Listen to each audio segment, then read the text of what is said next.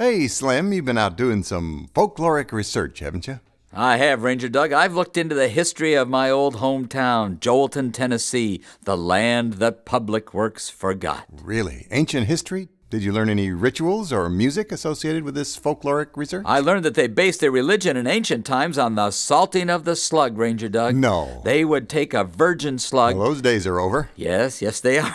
And place it on a great altar, and then salt it and to accompany its soul to slug heaven, which in slug theology is a big dog's dish on God's back porch. Why, they would sing this song. When first I came to Joelton, my fortune there to find, I met some jolly countrymen, on barbecue we dined. The talk soon turned to manly sport, while the Budweiser we jugged.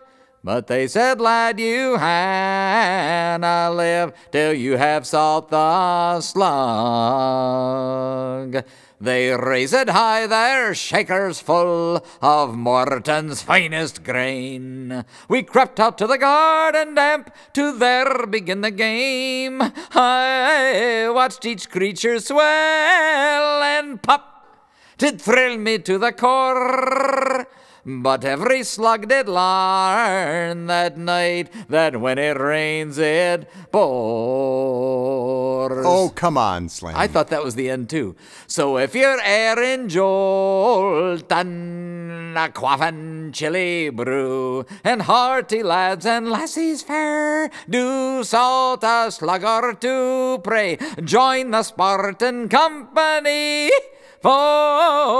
forsaken sex or drugs. God bless us, jolly salters, and take pity on the slug.